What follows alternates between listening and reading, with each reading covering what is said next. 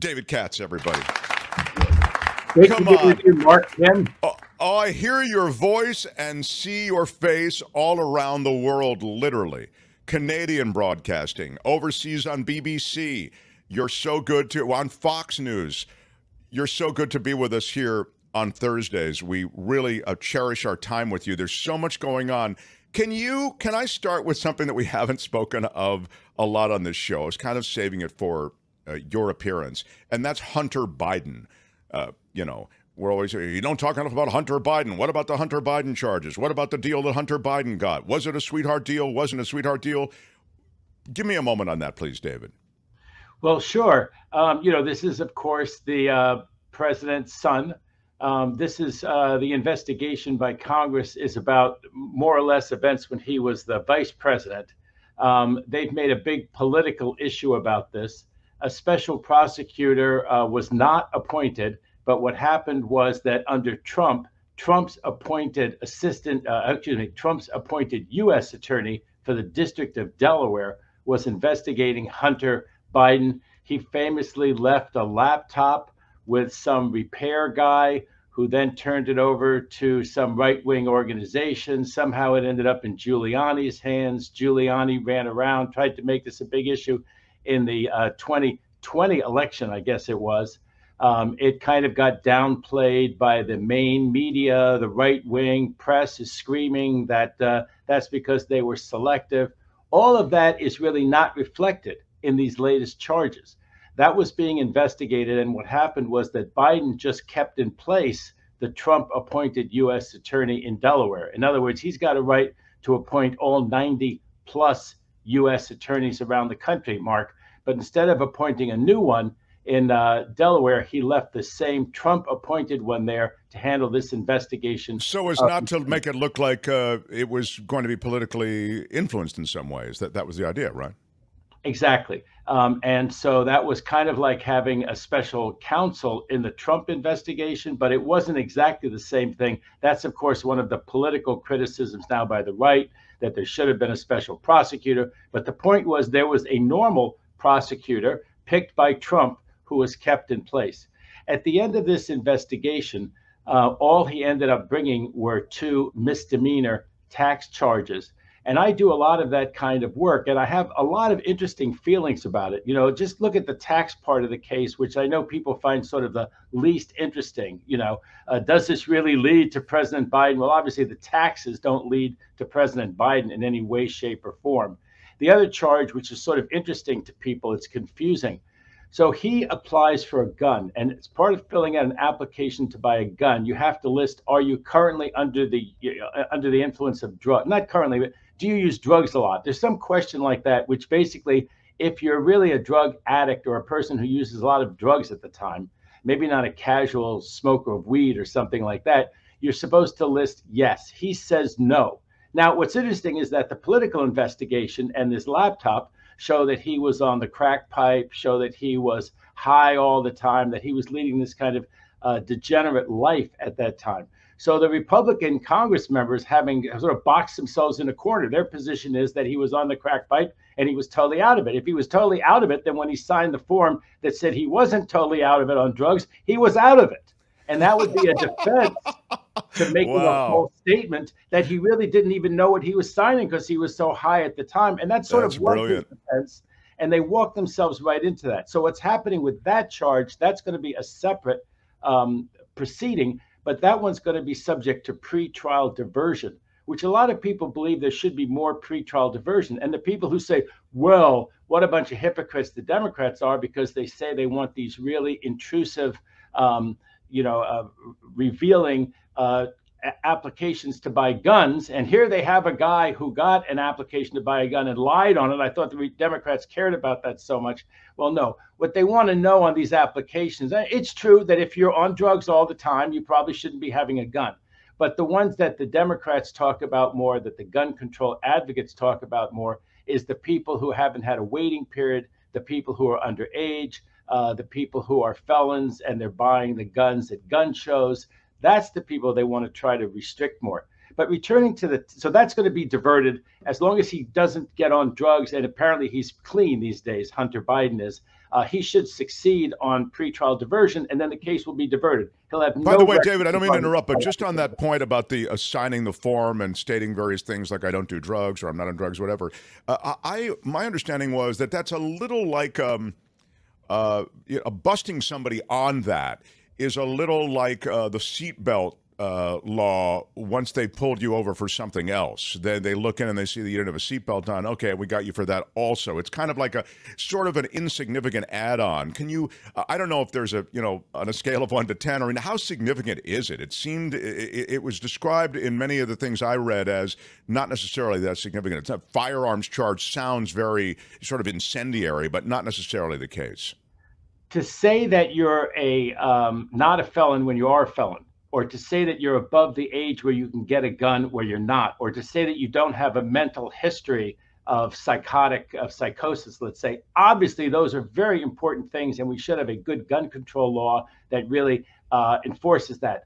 What they're talking about now, I, you know, person uses drugs a lot, and they don't put down check. I use drugs a lot they say that's only been brought once or twice, like ever, Mark. That is a very rare charge. And on the major question of people who ask, if your name weren't Trump, would you be charged in any of the Trump cases? If your name weren't Hunter Biden, would you be charged in any of these cases? If his name were not Hunter Biden, he would not be charged with that gun offense.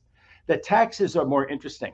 He made over a million dollars in two years, uh, Hunter Biden did, and he didn't file a tax return at all. He didn't pay any money at all. Now, in my experience, and I've done a lot of these cases, uh, people, if the IRS knows about that and has good proof of it, those people are charged and they're charged with felonies. Now, what you can do in a tax case, there's all these taxpayer bill of rights. So people always say that what's ironic about your practice, Mr. Katz, is that your clients have more rights, and I try to press for them to have more rights than the average federal criminal defendant. Part of that is that I have talent and experience at that, but part of it is that I'm dealing with the IRS. And no matter what you hear, the IRS has more procedural safeguards than, let's say, you're dealing with the DHS or one of these other, you know, federal agencies like that. And because of these taxpayer bill of rights, Mark, you're allowed to have a lot of review through the Department of Justice. So I don't want to get too inside baseball, but it's interesting. There's an attorney general, there's a deputy, and there's an associate. Those three people manage the Department of Justice and the U.S. Attorney's Office. They oversee the FBI. Beyond them, there are these different divisions. There's criminal, there's civil. If you remember this guy, Jeffrey Clark, who they were going to vault into being the number one guy at Oh, Justice, sure. so he could say there was fraud during the election. That guy was down the ladder, just in charge of the civil division. Now, after that, criminal civil, there's a tax division. And under these taxpayer bill of rights, you're allowed to go to the head of the tax division and you're allowed to have a meeting with that person or with that person's designee. Now, I've done that three times in recent years. Two out of the three times I've actually gotten to stop the federal criminal charges completely. And what was so interesting in the two cases where I was able to stop my client being charged with anything federally criminally is that in both cases I offered a misdemeanor and the IRS disdained a misdemeanor uh, to the point that they didn't take it. I mean, we were going to say he'll plead guilty to something, he'll plead guilty to a misdemeanor. And this has led a lot of people to wonder why, since the, and this is going to be a ding word, the IRS eschews um, Oh my God, very strong. Yes. why they approved it in this case. And I think one thing is that they had this prosecutor. He didn't really make the political, quote, political cases, the corruption cases, the cases that were supposed to. I mean, yes, he was a lobbyist. Of course, people gave him money because his last name was Biden. They didn't, get the Saudis and the, the Ukrainians didn't come to you, Mark Thompson, or me, David Katz. They might have if we were Mark Thompson Biden or David Katz Biden. We all know that. We know that that happens, but it happens with so many people. Look at Trump's kids. How did Kushner get a $2 billion contract with the Saudis? Why? They just picked his name out of the phone book. They just decided he was the best investment advisor. The Saudi, uh, the top guys advising the Saudis said, Why are you investing with this guy? Kushner has no experience. He has no track record. He's charging higher commissions. Why would you pick this guy? Well, Mark, you know why they picked this guy? Because his name was Kushner. And of course, some of these people chose Biden because his last name was Biden. Not that much that his dad can do about it. What's he supposed to do, Mark? Issue a press release that says, Don't anybody talk to my son? They say, What? I never talked to my son about anything. I mean, that would be peculiar on its own. So, my thought about this is that what happened was the, the defense attorney, as I would have done, said, go with the misdemeanor. I can live with the misdemeanor. You obviously have a misdemeanor charge on him because he didn't file a timely tax return. He apparently didn't file he didn't he didn't submit any of the money that he owed. If you're making over a million dollars two years in a row, that's a righteous case, as I say, as a felony. However, there's so much luck involved with the IRS, and you know this is what people always makes them crazy about the IRS. They said my neighbor did such and such and such and such, or a guy I know in business he did such and such and such. He didn't pay. They walked away. They did an audit. Nothing happened. The other guy got charged criminally there is a lot of, of luck, and a lot of it depends how strong the IRS really has evidence. And that is often who ratted on who. You cannot believe how many IRS criminal cases come from information from the ex spouse, right? Famously, oh, of course. Yeah, yeah, yeah. Ex business partner, right? Uh, the guy who dumps the girlfriend and she's really pissed off. And so she calls the IRS and she says, Let me tell you about my boyfriend. Okay. Um, he did this and didn't report it. He took this in cash. He's got five cars that are, you know, in somebody else's name, but they're really his cars, and he doesn't file a tax return. And if you get that kind of evidence, you know, then the IRS has a strong case. So whether they ever would have gotten to Hunter Biden if his name weren't Biden on this thing, the tax thing, is very questionable, Mark, whether they ever would have gotten to him. But if they did get to him, if somebody had ratted him out, right, uh, wanted to be an IRS whistleblower. They also have these whistleblower laws, Mark, where they pay somebody a part of the recovery if they rat out somebody else for uh, tax crimes.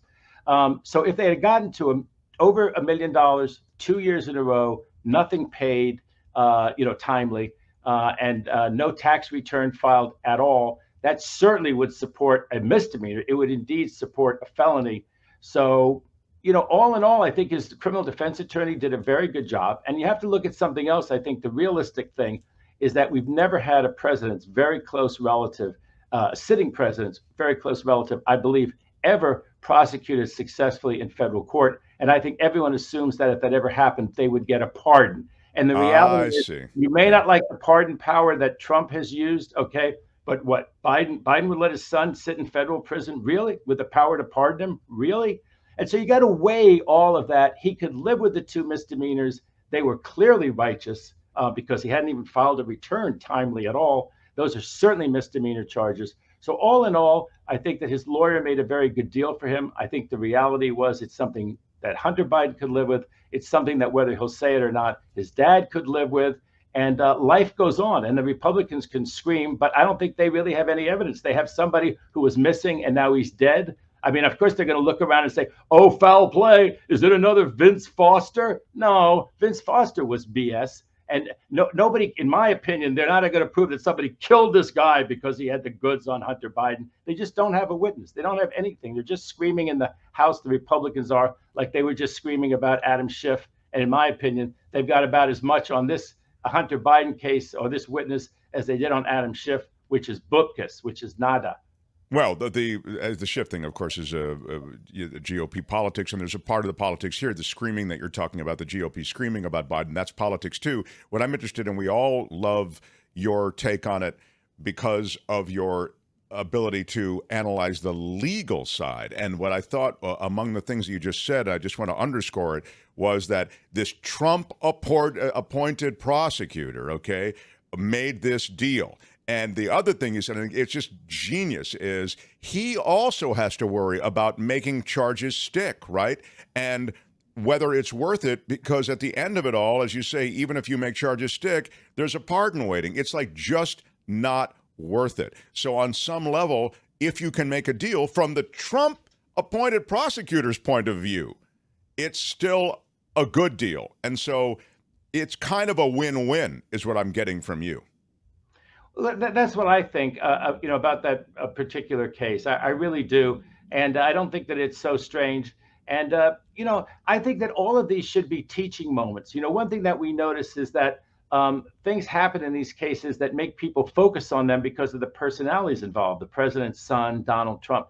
But we should learn from them. Like one thing that I think people should learn from the Donald Trump case down in the Southern District of Florida now is how quickly they turned over the discovery mark. That's not normal but it should be normal. there was somebody who threatened a witness in a federal case uh, a long time ago as a mob case or whatever. They either attacked the witness or threatened the witness. So some congressman named Jencks got on his high horse decades ago and said, This is terrible. We cannot give witness statements to the defense until right before the trial. We're still living with something called the Jencks Act around the country, case after case, people think, well, you certainly get the witness statements. You know who testified in the grand jury against you. You know what the witnesses had to say that's supposedly and so incriminating. No, the answer is no, you don't. Uh, you get something called Brady material, what's supposed to really help you, uh, exonerate you, exculpatory evidence. But the prosecutors around the country, over and over again, take the position that no, it's just a witness statement and you don't get it till like a week or two before the trial. Trump got it a week or two after the arraignment. This is absolutely extraordinary advantage, uh, benefit that Trump has gotten. But I think what people should step back and not just say, wow, what an advantage he got. He's being treated better than anybody else in federal criminal court is why don't we treat everybody like that? The number of people who really represent any kind of a threat to a witness are minuscule. And yet, all of these people, white collar cases that I defend, that they play games with discovery, they delay the discovery. And yes, you can go in front of the judge, but you know, the judges figure, well, the prosecutor's been doing this for a long time, regularity, they'll, they'll, they don't want to have the case reversed. But I can tell you, invite any other criminal defense attorney on your show who does a lot of uh, federal criminal work, and they'll tell you the same thing. It is a huge hassle. You don't get what they call open file discovery, Whereas in some state case, you normally do get open file discovery, at least here in California. And in federal, you don't get those witness statements, which are so crucial to you. And a lot of other evidence just kind of, you know, it kind of trickles out and it should just come out all at once so you could evaluate the case. When I was a prosecutor, I wanted all the evidence to come out. If I didn't have a strong case, I didn't want to be there. I tell the defense attorney, listen, I don't want your client to say a word, a word, sit there, quiet. Let me give you a two minute opening statement on the case. We got this, we got that. We got his buddy who says that he was there. We got this other person who says his alibi is nonsense, whatever it is, right? Uh, but uh, a lot of prosecutors, federal prosecutors, really don't have that that attitude. So when you get back down to uh, the Florida case, and there are even hints that there could be another shoe to drop, right? I mean, that there could be maybe something in New Jersey as well with the documents there. And obviously, there are other cases brewing. We talk about J6, Georgia, et cetera. But let's just go with the Florida thing because you talk about the way, in a way, it's sort of being fast tracked. I mean, uh, uh, it's on the schedule early. The evidentiary part of it has been, as you've just suggested, uh, produced uh, ahead of what it might be otherwise. Uh, does that change your prediction at all about the fact that this this case won't be resolved before the general election in 2024? No, it doesn't change my opinion at all. I think that the special counsel is trying to um, put forth the best foot that he possibly can for the government and for the prosecution. He's trying to uh, rebut in the minds of people who have an open mind, uh, and I think a lot of people do, they aren't in the Trump base, that he's really bent over backwards to do everything. Uh, he's going to, you know, he's going to be in Fort Pierce Florida, in Trump country, in front of the judge that was handpicked uh, by Trump to hear the search case. And he had about a three, a one in three chance of doing that, and he did it anyway. Whereas he could be in Washington D.C., um, and it would be just a, a much better venue for him and a proper venue for him. Um, but in terms of the case getting to trial, uh, Trump has no interest in getting into trial. And you know, quite legitimately, I've gotten a lot of cases um, continued uh, because it takes a lot of time to go through the evidence. We don't know how much stuff they actually have in this case, but to go through, you know, hundreds of thousands of pages of discovery and to try to understand for each each piece of evidence how it might be exculpatory, how it might help Trump. That's a legitimate argument why he needs more time. Now, he may have, I believe, a, a an actual desire for delay I think there'll be a drumbeat of delay here because I think it's not at all in his political interest to have his case tried before the nominating process. He's going to lose this case. This case is overwhelmingly against him. Out of his own mouth, he says that I can't declassify this stuff right now. He shows it around and says, don't get too close to it because it's secret. Uh, these are out of his own mouth tapes that he knew were being made for this uh, autobiography of Mark Meadows that was being written. Uh, there's the whole fact that he had declarations signed by two different uh, lawyers certifying that everything had been turned over. And then when they went in on a search warrant, they found over 100 uh, highly classified documents still with their classified markings, the gold and the red on them. I mean, think of how devastating that is.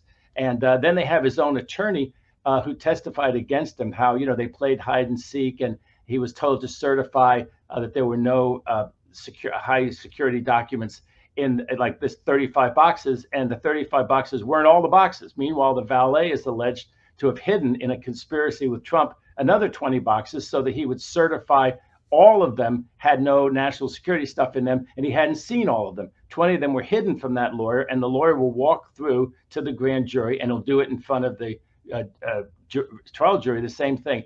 There is going to be a request to reopen that, Mark, and uh, say, look, the judge decided in Washington, D.C., but it wasn't a, a fair process. Um, we didn't have a chance to really have input on the defense side. The government showed that it was the crime fraud exception. We didn't have a chance to debate that. We want to debate that in front of you, Judge Cannon, down here in Fort Pierce, Florida, and she's got a right to reverse it. That would be a big decision. If she does exclude that evidence, then they're entitled to appeal that immediately. The government can. But so again, not time. just to interrupt you, the crime fraud exception to which you've referred is the sense that the lawyer client confidentiality can be breached if there is a crime in the in the process of a crime being permitted uh, committed. Is that it? Yes. Well, think about this, Mark. Um, you you you come to me and you say, you know, I'm being investigated for this uh, tax crime that I committed uh, you know, uh, a year ago, this and that. I have this defense, I have that defense. Here's what was on my mind. I have some witnesses I think can help me in the case. All of that totally confidential. My notes about it totally confidential. It's historical. How we're going to deal with an historical accusation. Um, and so that's the that's the classic, the, the famous privilege we've had for hundreds of years, the attorney-client privilege, which you have, and you can shut my mouth you can tell me I don't want you to talk about the case. I cannot be your lawyer anymore. I can't talk about the case. You so in that example, what how what has to change for it to be uh, the right. crime fraud exception? You can shut my mouth forever as the client. But then you tell me, you know, I still have some documents that are really incriminating for me. Where should we hide them so that the feds will never find them? now, uh, that that may blow me away, and I may write that down in my notes. And I there's never been anything like this. Yeah, right. Uh, yeah.